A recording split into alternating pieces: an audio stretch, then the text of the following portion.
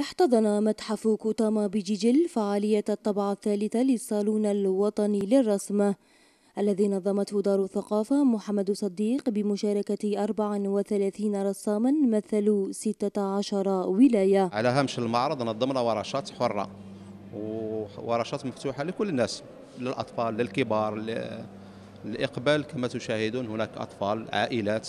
تأتي مصحوبة بأطفالها. وجوه تاريخية وثورية معروفة كانت حاضرة بأنامل فنانين أبدعوا في إبراز ملامحها باستعمال مختلف تقنيات الرسم. لوحات آه، كانت آه، تقنيات مختلفة. تقنية أكواريل أقلام ملونة قلم رصاص. والآن راكي تشوفي لوحة الأمير عبد القادر. شخصية معروفة والفنان ماذا به كي يرسم شخصية يرسم شخصية اللي اللي يحس بها وتجد به. technique mixte أنا يعني خادم بقلم فحمي وقلم رصاص و estompage technique تاع المسح هذيك.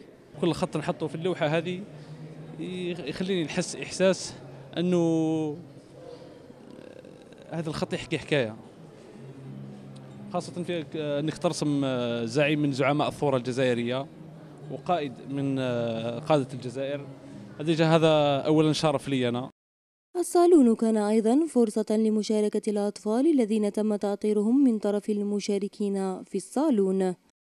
اليوم داروا لنا ورشة خاصة للأطفال باش نت... في جيجل باش نتعلموا كيفاش نرسموا وننميو ثقافتنا.